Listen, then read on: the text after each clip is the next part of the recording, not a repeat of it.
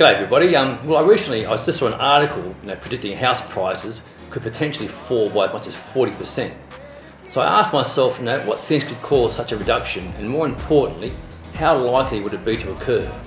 Now, the first thing that could cause such a fall would be a sharp rise in unemployment.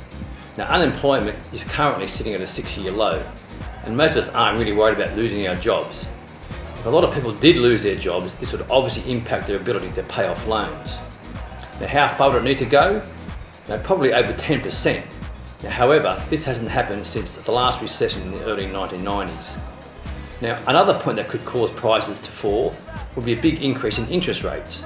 Now, any rise in rates will impact any borrower, borrower's ability to uh, pay back their loan. But speaking and listening to a lot of experts in that field, the likelihood of a dramatic rise in, in rates seems really low. Another problem we are facing now is the difficulty in getting finance. It's a pretty tough time right now, that's for sure. But you know, I think once the Royal Commission with the banks ends at the end of this year, banks will have a lot more certainty and clarity around lending and hopefully things in that sector will ease up a little bit. Now, the global economy is powering and Australia is slowly being caught up in this momentum. Now, while the outlook for growth is looking pretty good, political risk is a real big problem. The one that could potentially impact Australia the most is Trump's trade war with China. Now, depending on how restrictive it becomes, it has the potential to shut down global growth. It is also something Australia has very little control over.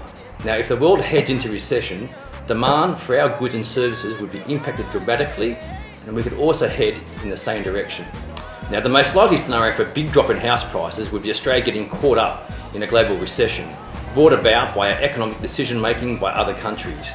Now, while we can't say for sure that this won't happen, at this stage it looks like we are in for more moderate conditions across Australian property markets over the next two years. In my opinion, a drop of 40% is certainly not on the cards. Anyway, that's it for this week.